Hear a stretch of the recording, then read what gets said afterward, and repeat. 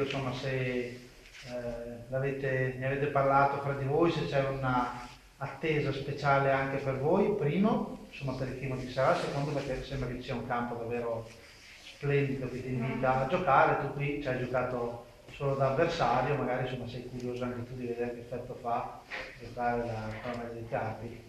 Sì, no, siamo tutti contenti di tornare a Carpi perché sicuramente ci darà una grossa mano il pubblico qui in casa. Campo sicuramente sarà migliore eh, rispetto a quello che abbiamo trovato nelle scorse partite, quindi sicuramente sarà una cosa positiva per noi.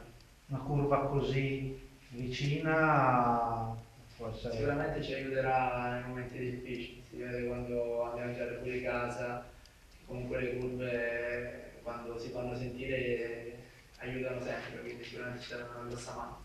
Il ritorno a casa arriva in un buon momento dopo questa bellissima vittoria di sabato. Il Carpi sta spiccando il volo, secondo te?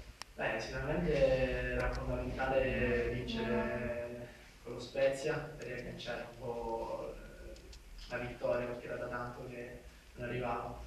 E poi adesso c'è una partita fondamentale con la Latina che non dobbiamo assolutamente sbagliare.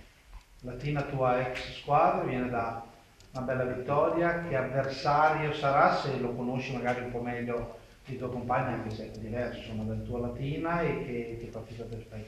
Sì, no, qualche ragazzo è rimasto lì da quando c'ero io. Sicuramente avranno sempre la stessa voglia di intensità che ho visto nelle ultime partite che hanno fatto. Eh, noi dovremmo soltanto pensare a noi, a entrare in campo e non lasciargli proprio spazi per attaccare.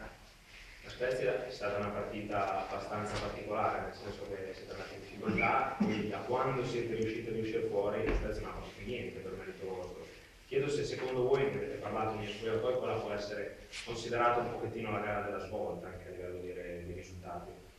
Eh, sicuramente dovremmo fare noi che sia la gara della svolta, quindi da sab- sabato dovremmo dare continuità a questa partita. Che possiamo dire sì, è la svolta, ma se noi sabato non scenderemo in campo con questa mentalità sarà una partita che abbiamo vinto e basta. Invece dovremmo dare continuità a questa vittoria che abbiamo fatto. Tu insomma hai fatto un anno di Serie A tra Carpi e Bologna, ti chiedo tornando in lì che livello hai trovato a livello generale e se la classifica al momento ti sorprende oppure per te insomma e l'hai fatta, fatta da protagonista sia alla fine di Banca Grossi insomma per te è una cosa normale vedere questa classifica. Eh, guarda, io non- sinceramente non guardo la classifica perché siamo ancora all'ottava giornata, ma quindi ancora c'è poco di, di concreto. Penso a fare ogni partita, penso pure noi ragazzi, tutta la squadra, a fare partita per partita cercando di portare a casa sempre tre punti contro chiunque.